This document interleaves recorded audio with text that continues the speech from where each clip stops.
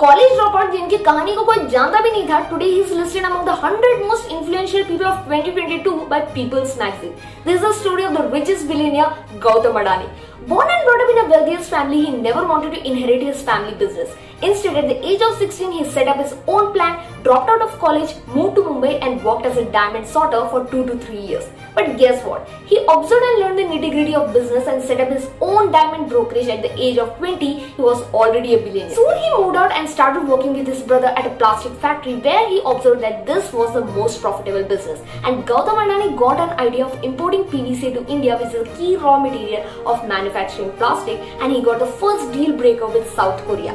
Here on, he entered into a global era of import and export and founded the Adani Export Limited in 1988, which is today known as Adani Enterprises. So one year later, he founded Adani Power Limited, and in 1999, he set up Adani Wilmar, which is India's leading processor of crude oil. It is not just the Adani stocks which is being brought and sold, it is also the Gautam Adani story which is being inspired by the people all around the world. If you like this, make sure you support Voice of Shruti.